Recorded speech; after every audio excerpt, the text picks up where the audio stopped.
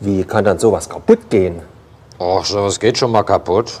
Und was kostet das dann? Ja, kann ich jetzt so nie mit mitfahren. Tja, Ich habe schon überlegt, mir ein neues Auto zu holen. es ist gut, wenn man das Alte hinter sich lässt. Ich habe die längste Zeit Autos repariert. Baue sie die Tankstelle um, hole ich jemand dazu. Im Gegenteil, ich steige aus. Ein Jugendtraum von mir. Ich bin Amerika-Fan. In mir schlägt das Herz eines Indianers. Gefahrt?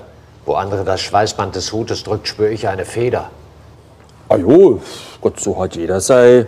Der Stadt Millerbrunn ist ja leidenschaftlicher Sitzungspräsident vom Karnevalsverein. Um jetzt noch einmal drauf zurückzukommen, was wird denn das jetzt kosten mit der Reparatur? Ich schätze so um die 800 Mark. Und wie lange geht das dann dauern, Häuptling, großer Preis?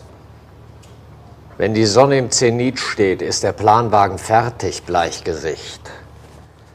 Ich warte nur noch auf die Reparie meines Bausparvertrages und dann sind wir weg. Ah, Sie fahren nicht allein.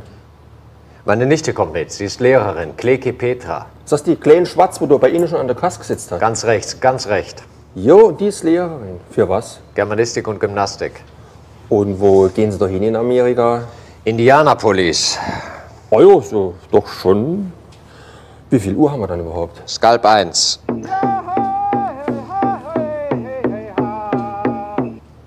Telefon. Der braucht kein Fetter, der braucht Tablette.